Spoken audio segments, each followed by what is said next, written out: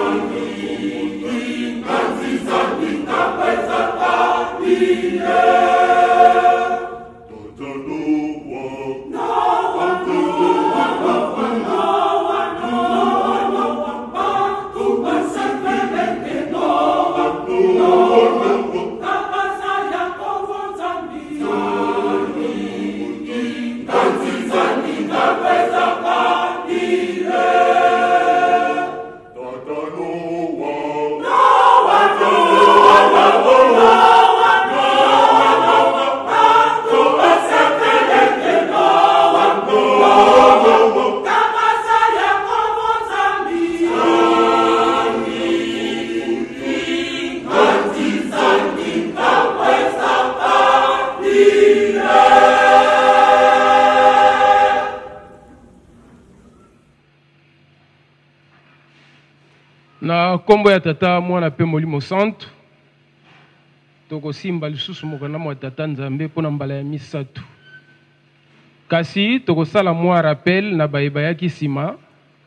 Totangaki liboso mokanda na Psaume ya 43 1 ntina 5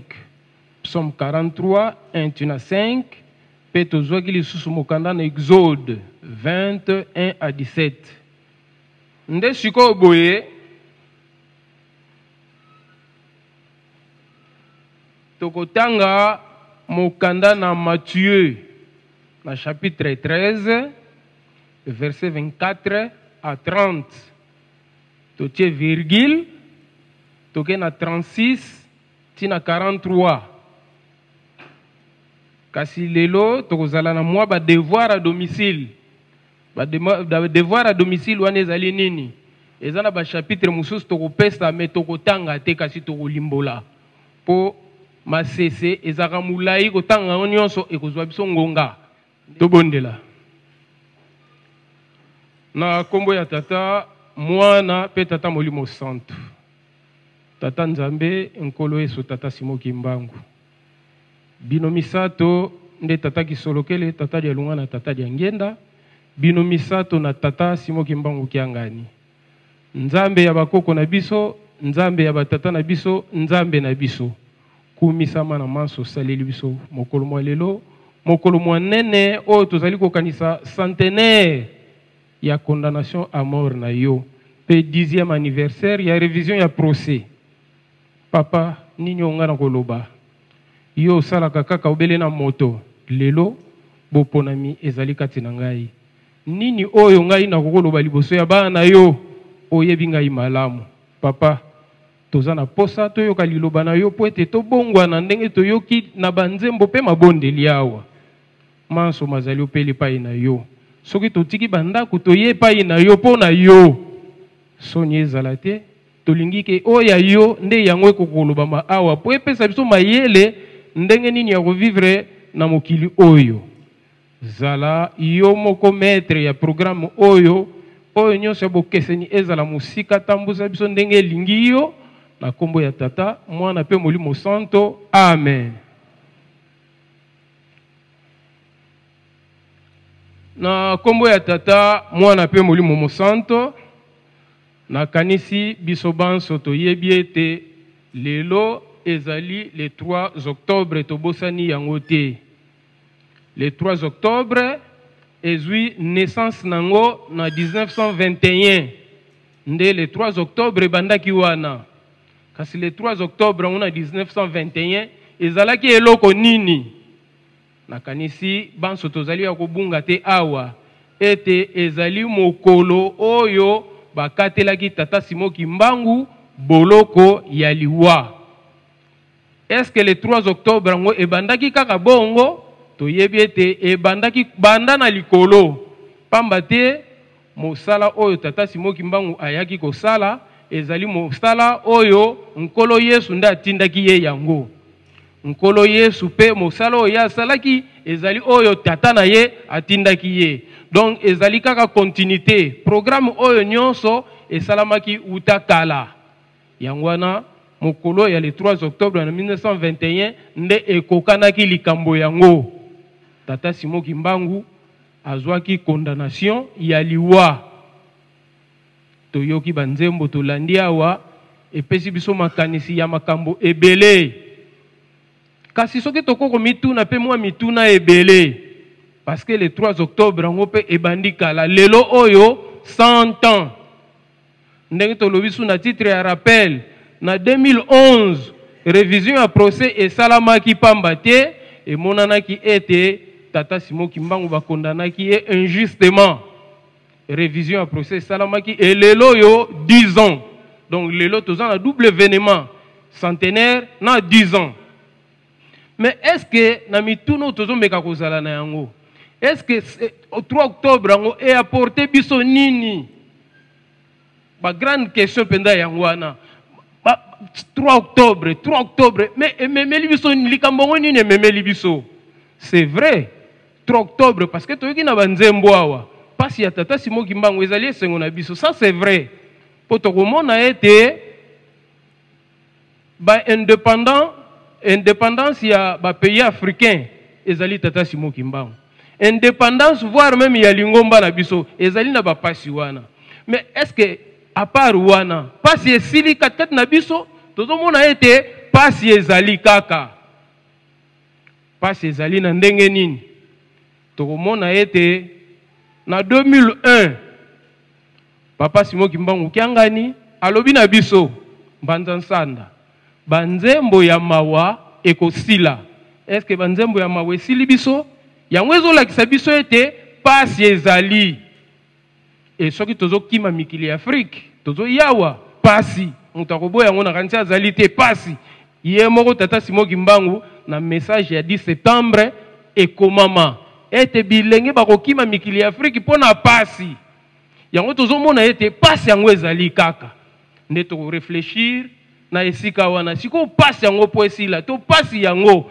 eloko nini eza kokanga nzela mpo pasi esila te Mpo na nini mpasi yango ezosila te? Nde na bongo toye komona ete mpasi eza kosila te paske lokuta to bato ya lokuta na bato mabe nde yango ntina mpasi na biso eza kosila te nde mpo na bongo teme na biso oyo tokolobela mokolo mwa lelo ezali mbano ya bato mabe Pamba te bato na lokuta nyonso basangani, bato mabe baza kosala nyonso mpo ete mpasi ekoka kosila te.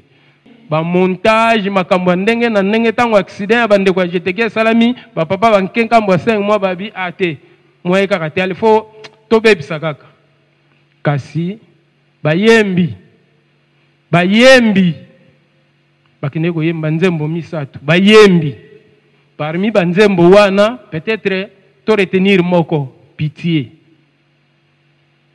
pitie tokanisa to kaka nzembo wana makambo nini eza na nzembo wana nzambe ayoki pitie ya biso bato abomi lisusu mokili te toyoki deja na banzembo awa moyini alingaki likambo wana mpo moyindo asepela te moyini bato ya mabe bato ya lokuta tata mama soki oza moto ya lokuta ere yango oyo soki mpe nazalaka moto na mabe ere yango oyo yango wana soki mwa conseil ekoki kozala na bana na biso oyo bosala droit faut faire attention mosala kitoko kasi eza na makambo ebele moto exemple abomi mutu moto abomi mutu oza conscient ka bomi mutu bo pourquoi oko défendre ye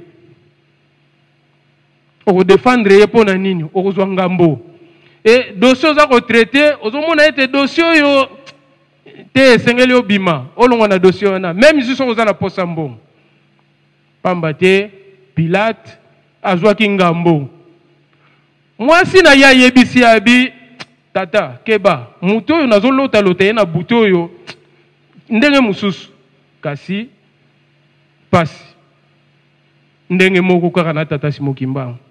Yango wana batata na bamama, ngai na yo toza na mokolo mwa lelo, tomeka kozwa conscience ete bato ya lokuta na bato ya mabe bazali, kasi toyebana koplace confiance na biso epai ya Nzambe. Biso na mokolo mwa lelo, ndenge tolobaki ete ba papa balukelaki mpe bango makambo ebele, bango baplasaki confiance na bango epai ya Tata Simon Kimbangu. Lelo toza na Tata Simon Kimbangu Kiangani. Tata Simon Kimbangu Kiangani azo placer confiance na ye epai ya batata na ye. Ye direction oyo ye azolanda kaka oyo ya batata. Lelo tozosepela totongi musee mais musee wana ezali okotala yango na livre vert livre oyo papa Diangienda atikaki c'est-à-dire aza toujours na ligne ya batata likambo nyonso en contact na batata ngai na yo lelo tozala na confiance epai ya tata Simo Kimbangu Kiangani kokende na confiance epai ya moto mosusu te confiance na nga confiance na yo pesa epai ya tata simo kimbangu kiangani ye nda kobundela yo na likambo nyonso ekooyela yo lokuta ezopanza bafamille lokuta ezopanza société na biso lokuta ezoboma amitie lokuta ezokotisa bato na cimetiere lokuta e lokuta ebandi lelo te ebandi kala ngai na yo mwana tata simo kimbangu ndenge nini tozozwila likambo wana ya lokuta e esili mpe te ezali ntina biso bandimi awa ndenge tozali bato ya lokuta tozali awa ntango mosusu tokoloba ate ah, tata okosi Papa Mfuma Mbanza alobi eh, ba nkwalu zolo lwa mbote bake, ba nkwalu zolo lwa mbi bengi. E luzolo lwa mbi e englobe makambo nyonso ya mabe. Lokola kondima ya biso bakimbangiste ezalaka na makambo misato na Bible, na maloba ya bapapa mpe na banzembo. Sikoyo tata yeyo aye. akosala nini nayebi te moto na moto aza na likambo ako kopesa kasi réponse ya malamu eza na korale oyo dirigeant soki tata ye akosala nini tata ye akosala nini toyoka dirigeant réponse nini akopesa biso soki tata ye